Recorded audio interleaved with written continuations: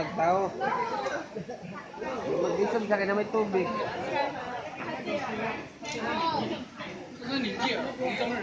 He looks irritated.